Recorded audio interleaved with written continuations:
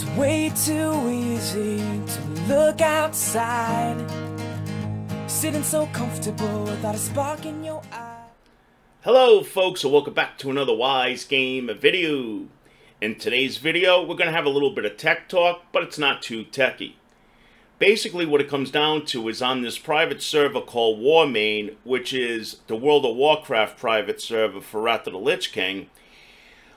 Sometimes when I try to use a setting in the game it does not work for me.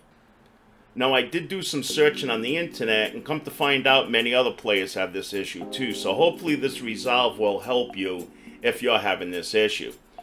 So what I'm talking about right here is that if we open up our settings and we go to video, I like to use window mode. Because when I'm making videos, I have dual monitors. I like the freedom of my mouse to be able to slide back and forth between both monitors when I'm making videos or even searching the internet while I have the game up. Now, if we go to use window mode at this moment, we just get a black screen. As we can see right here.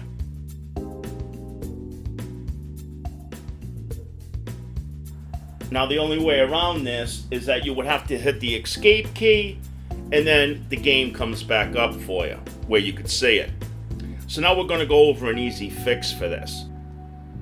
So let's get started with Warmane's private server the black screen issue that you get with window mode. So basically what you have to do is that you have to right click on the icon to open up the game with, you know, the launcher.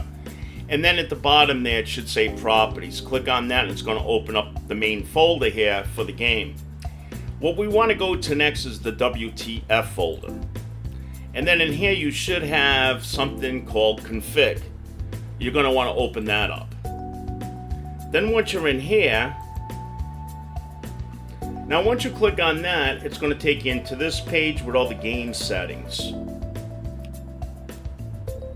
So what we want to look for now is a setting in here called set GX window and yours probably has a value of zero. The values are in between these quotation marks. Now we could see in my list, I don't have this at all. So mine's missing it. So that's probably my issue. So now what I did was that I made a copy of the command or the script and I put it on a notepad so that I have it in case if this ever happens again. Now I'm not sure if it matters where you put it in the list. I don't really think it does. But I try to keep it with all the other ones that are related to it, so the GX ones. So I'm going to go right here, I'm going to make a space, and I'm just going to paste in the script that I have. Now what you want to do is that you want to set it to 1, not 0. So you want to make sure, again, in between those quotation marks, that it's set to 1. Once you've done this, just save it now. Just close this window and save it.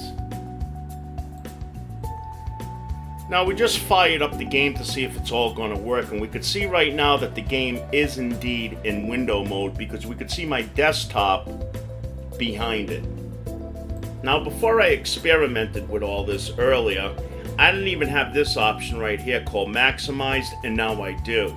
So if we click on that now and hit apply, it's now going to give us windowed full screen, which is really nice. And now I have total freedom of my mouse between both monitors.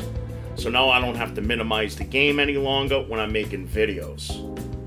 Now, a big warning, if you uncheck window mode, it may delete the command that we just did in the WTF file. So you may have to go back and put it in again or change your value from 0 to 1. And that's basically it, guys. This step worked for me. There's other ways of doing this too that I read on the internet, but they're a little more intense. I found this was the most simplified way of actually getting this done. So I hope that this helps you. Again, this was Warmane Private Server, black screen issue with window mode. Again, thanks for watching Wize Gamer. Feel free to sub up for more future videos. Comment down below. We'd love to hear from you. Until then, you guys have yourself a great day. Take care. Bye-bye.